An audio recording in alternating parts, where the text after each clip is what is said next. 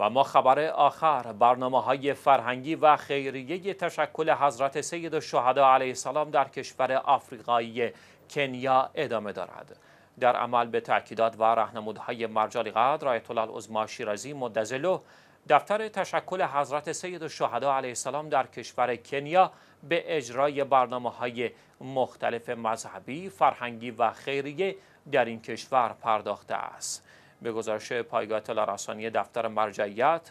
توزیع کمک های مادی و مواد غذایی در میان فقرا و ایتام از جمله برنامه های این مرکز در روزهای اخیر بوده است. شاین ذکر است دفتر تشکل حضرت سید و علیه السلام در شهر ناکورو در کنیا به سرپرستی حجت الاسلام شیخ شبیر الحاج مجری برنامه های مختلف مذهبی، فرهنگی، آموزشی، اجتماعی و خیریه‌ای در این شهر است. بر پایه جلسات سخنرانی و قرائت قرآن و ادعیه برگزاری کلاس های آموزش احکام، عقاید و اخلاق، توزیع کمک های مادی و مواد غذایی در میان فقرا و ایتام